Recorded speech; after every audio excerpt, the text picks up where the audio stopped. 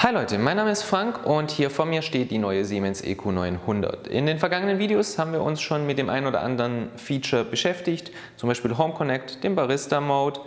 Wir haben uns die Coffee World angeschaut, die Profile und auch die Bedienung über das Touch Display.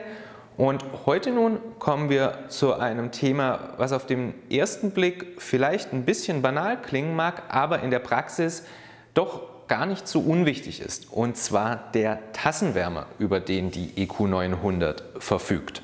Bei der EQ900 befindet sich der Tassenwärmer hier an der Oberseite des Geräts. Das heißt, ihr stellt hier im Prinzip eure Tassen drauf und die werden dann von der Maschine erwärmt.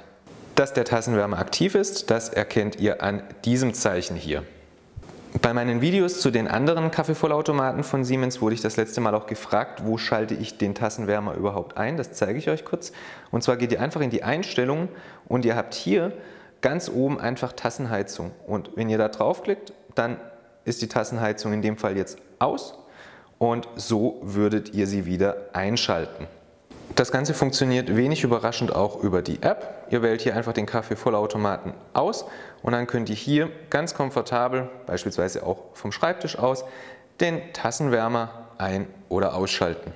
Der ein oder andere wird sich jetzt sicherlich fragen, wozu überhaupt? Warum sollte ich die Tasse erwärmen, bevor ich mir ein Cappuccino oder Espresso zubereite? Und das lässt sich eigentlich relativ einfach erklären. Kaffee bzw. Kaffeemilchspezialitäten werden traditionell heiß genossen. Ganz einfach, weil sich dann das Aroma bzw. der Geschmack am besten entfalten kann.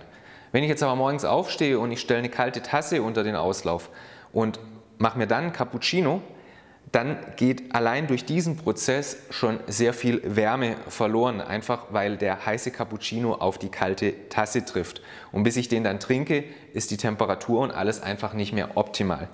Das mag jetzt natürlich nach Jammern auf ganz hohem Niveau klingen, aber es macht doch einen Unterschied, weshalb man auch in vielen Cafés eben sieht, dass die Baristas ihre Tassen vorwärmen.